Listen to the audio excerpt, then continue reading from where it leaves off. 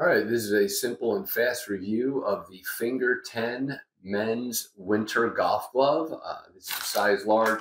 Uh, important thing to note, um, obviously, is going to be the uh, the winter capabilities here, um, but it also has a ball marker, um, so a lot of winter gloves do not.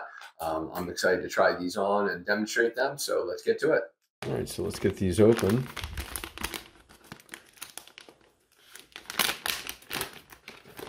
Kind of show you some of the important things here. Um, so first and foremost, what I want to show you is uh, the tightness around the rest. Um, as you can tell by the glove itself, it kind of shrinks right around the wrist because the last thing you want is, uh, you know, to be starting to get cold um, during the course of your game um, because they, uh, the cold air is sinking in through a loose fitting glove. Um, obviously, we talked about the ball marker.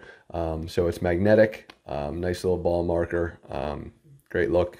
It's a skinny one, so again, if it's uh, you know the ball rolls over, it's not going to be an issue. Um, some of those ball markers, those uh, you know poker chips, are uh, are a bit of a nightmare.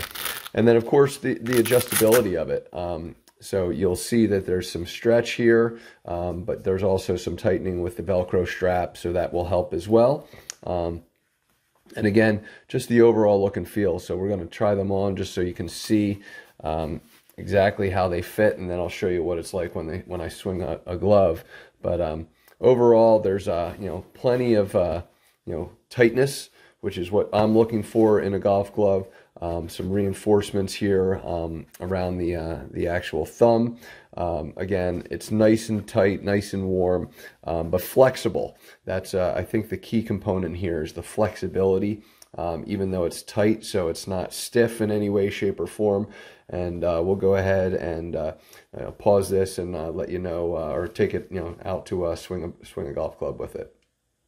So something also to consider though um, is that you'll notice that there is not um, any phone uh, capability. Um, you know, they're not the touch uh, touch screen fingers, um, so that is a factor. But you know, quite frankly, um, you know, that's not exactly uh, important to me while I'm playing golf anyway. One more thing I want to show is kind of, again, the fabric on the outside is one thing, but I want to show you what the fabric on the inside looks like. Um, it's a felt, um, so it's nice and warm. Um, it's not, uh, you know, not uncomfortable in any way, shape, or form, so it should keep you nice and warm. All right, so hopefully you can see, um, first of all, there's a very good grip. I'm just going to try and keep you focused on the actual uh, club um, while I'm swinging so you can see kind of how this I know it's kind of hard to see but um, very solid. Hands don't move. Uh, everything feels very good uh, so hopefully this review helps. Thanks for watching